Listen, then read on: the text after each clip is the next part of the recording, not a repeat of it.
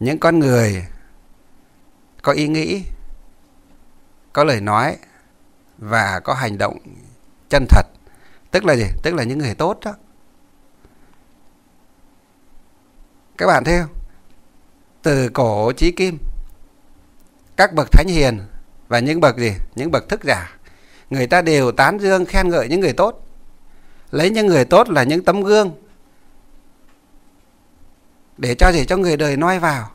Chứ có ai lấy những người xấu xa những người gian dối những người độc ác để làm tấm gương cho mọi người nói theo đâu. Cho nên với các bạn có khi nói chưa người ta chưa hiểu mình.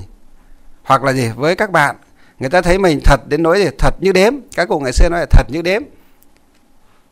Cho nên có khi đối với các bạn các bạn nghĩ là gì? Mình uh, hơi uh, ngô ngố chẳng hạn.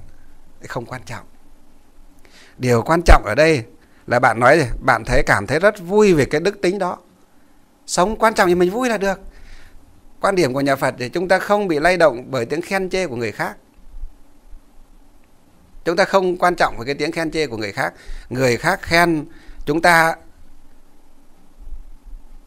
họ cũng không cho chúng ta thêm một cái gì cả. Mà họ chê chúng ta thì họ cũng không gì, cũng không lấy mất đi chúng ta cái gì cả cái điều quan trọng là trong tâm mình thấy bình an thấy thanh thản thấy hạnh phúc và thấy gì? Luôn bằng lòng về cuộc sống mà mình gì? Mình đang đang hít vào thở ra đó. Đó theo quan theo tư tưởng của thiện sư nhất hạnh là à, hãy sống với cuộc sống hiện tại này. Hãy vui và vui với cái cuộc sống hiện tại này. Hãy thở và thở với gì? Cuộc sống hiện tại này. Đó, tất cả mọi cử chỉ, hành động, lời nói, ý nghĩ của chúng ta, hãy đưa nó về thực tại, thì chúng ta gì sẽ cảm nhận được cái lòng từ bi, bình đẳng, vị tha của đức phật ở trong trong mỗi chúng ta mà thôi. Cho nên ở đây, thầy khuyên bạn là gì? Hãy cứ sống với cái tâm chân thật như thế, thật thà, chất phác như vậy. Còn các bạn của bạn có thể nói bạn ngố, bạn ngu, vân vân điều đó không quan trọng. Và bạn hãy mỉm cười với các bạn đấy nếu mà bạn gì? Bạn là tiến tới một phật tử. Khi nghe các bạn nói như vậy, nguyện đem công đức này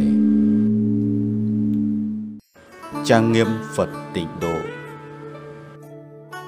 Trên đền bốn trọng ân dưới cứu ba đường khổ. Nếu có ai thấy nghe đều phát tâm bồ đề. Hết một báo thân này,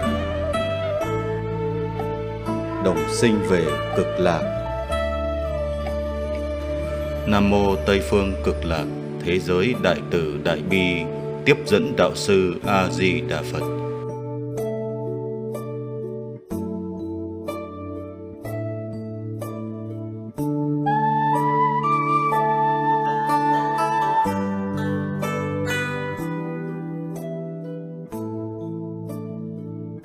Nguyện tất cả chúng sinh đều tín niệm di đà. Đồng cầu sinh về nước cực lạc.